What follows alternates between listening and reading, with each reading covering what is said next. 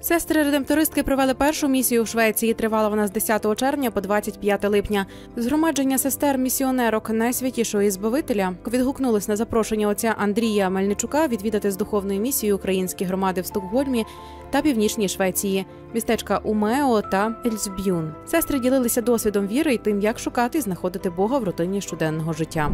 При катедральному соборі в місті Чернівці відкрито соціальну перукарню. Владика Йосафат Мощич, єпарх Чернівецький, освятив приміщення при катедральному соборі у спільні Пресвятої Богородиці. Перукарню облаштовано катедральною спільнотою соціального служіння на чолі із духівником отцем Віталієм Лаврисем. Тут безоплатно послугами перукаря можуть скористатися діти-сироти, напівсироти, люди з інвалідністю та малозабезпечені.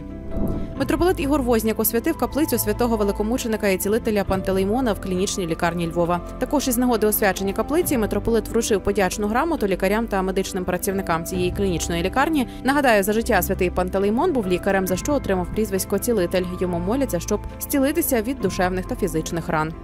Лицарі Колумба закупили медичне обладнання для лікарні в Золочеві. Серед гостей були національний делегат ордену лицарі Колумба в Україні пан Юрій Малецький, директор лікарні, пан Тарас Ястунський, міський голова Золочева, пан Ігор Гриньків. Передача цього медичного обладнання найбільша допомога, яку лікарня отримувала впродовж останніх років.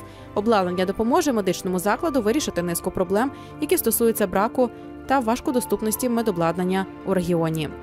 У монастирі отців Василиян в Херсоні відсвяткували праздник святого Володимира. Урочистості розпочалися зі святої утрені. Літургію ж очолив отець Йосиф і щину святого Василія Великого, настоятель монастиря Покотилівці, що біля Харкова. Присутні молилися за стійкість міста Херсон. Катехетично-педагогічний інститут Українського католицького університету запрошує на навчання. Йдеться про дистанційну заочну програму вищої релігійної освіти за спеціальністю катехит на основі загальної середньої освіти. Прийом документів від 1 липня до 11 вересня. Катехетично-педагогічний інститут УКУ це найбільший навчальний заклад в Україні, який здійснює цілісну підготовку катехитів, учителів духовно-морального спрямування та працівників спільнот різного виду служіння в церкві.